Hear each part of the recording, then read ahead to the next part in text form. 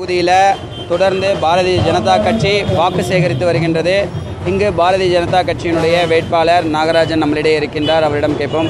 ஐயா நீங்கள் தொடர்ந்து த ஆர்கே நகர் மக்களிடம் வந்து வாக்கு சேகரிச்சிடுறீங்க உங்களுக்கு எந்த அளவு வரவேற்பு இருக்குது சிறப்பான வரவேற்பு இருக்குங்க. இல்லை மத்திய அரசினுடைய திட்டங்கள் மாநில அரசினுடைய செயல்பாடுகள் சொல்லும் பொழுது இங்கே வந்து மக்கள் வந்து பாரதிய ஜனதா எந்த அளவு அங்கீகரிக்கிறாங்க? மக்களுக்கு நல்லாவே தெரியுங்க. மத்திய அரசு திட்டங்கள் தான் நம்ம நாட்டை உயர்த்துன்னு தெரியும். அதுக்கு பல்வேறு உதாரணங்கள் நான் சொல்லிகிட்டு இருக்கோம். எடுத்தால எண்பத்தாறு துறைகளில் நூற்றி முப்பத்தி ரெண்டு புதிய திட்டங்களை மக்களுக்கான திட்டங்களை மக்களை ஏமாத்துகிற மோசடியான திட்டங்களை அமல்படுத்துறது தான் கடந்த ஐம்பது ஆண்டு கால ஆட்சி.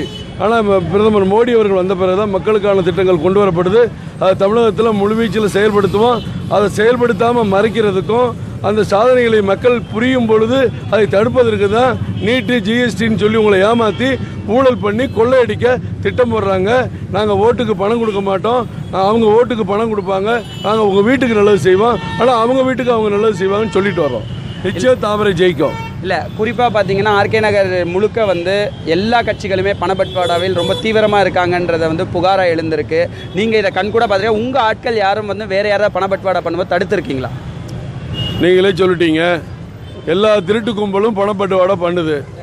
நீங்களே சொல்லிட்டீங்க அதை தான் நானும் ஏற்றுக்கிறோம் அதுதான் ராஜேஷ் லக்காரிட்டையும் சொல்லியிருக்காங்க எங்கள் தலைவர் டாக்டர் தமிழிசை பணப்பட்டுவாடா பண்ணுறது தெரு தெருவுக்கு உட்காந்து பூத்து மாதிரி இயங்குறது மக்களை குழப்புறது. ஓ கோலம் போட்டால் பணம் வரிசையில் நின்னா பணம் வரவேற்கு தான் பணம் குக்கரை தூக்கி காட்டினா பணம்னு சொல்லி எல்லாத்துக்கும் பணம் கொடுத்து மக்களை அடிமைகளாக்குறாங்க. தேர்தலை முறையாக நடத்த முடிஞ்சால் நடத்துங்க. இல்லாட்டி தேர்தல் நடத்தி பயன் இல்லைன்னு சொல்லிட்டாங்கல்ல. இன்றைக்கி திமுக போய் புகார் கொடுக்குறோம் அதிமுக புகார் கொடுக்குறாங்க காங்கிரஸ் கொடுக்குறாங்க எல்லாருமே கொடுக்குறாங்க. இதில் என்ன இருக்கு அப்போ? தேர்தல் முறையாக நடக்கவில்லை என்பதுதான் உங்களை போன்ற ஊடகங்களுடைய கருத்து.